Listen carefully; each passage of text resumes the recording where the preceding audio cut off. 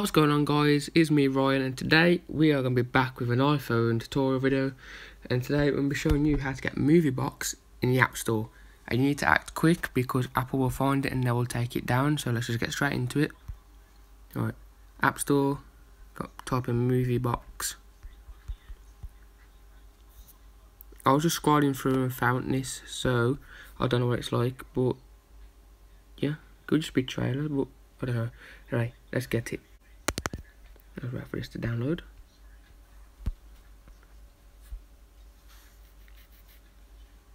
Right, movie box.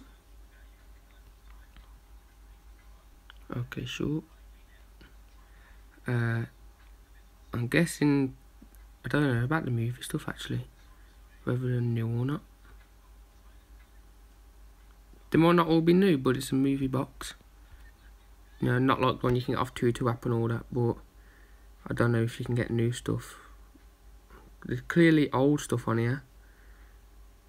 Uh, is there a way we can like search for, uh, you know, let's try Creed 2? Creed? No, okay. Oh yeah, maybe then. We got Creed and all that. Let's just look, like try search for a few movies about it. These fucking ads are annoying. Every time we search a film, Oh, it doesn't seem to be on here.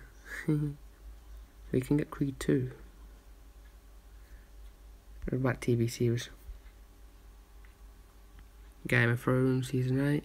I don't watch that, so I'm, guessing that could be the most recent series. Love, Death, Robots. I don't know any of these. There's nothing really majorly good on here, to be honest with you. But I just thought like I'd do a video just to like, you know,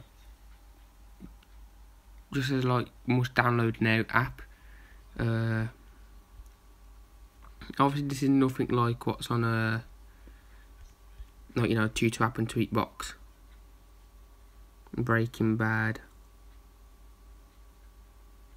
Batman Ninja, that's new. Avengers Infinity War, Hateful Flight. I don't know how soon this will be taken off the store, so as soon as you see it, I would uh, recommend just downloading it. So even if you don't keep it, it's on uh, it's on your like purchased, so you can download it back whenever. But yeah, that's it guys for this. Uh, I hope you liked it. If you managed to download it, please like, subscribe, and comment. If you didn't download it, comment because it wasn't on the store, and I'll do another video how to download it in third third party and you can get all up-to-date movies such as The Avengers Endgame, etc. Anyway guys, I hope you liked it. Please like, subscribe and comment and see you in the next one.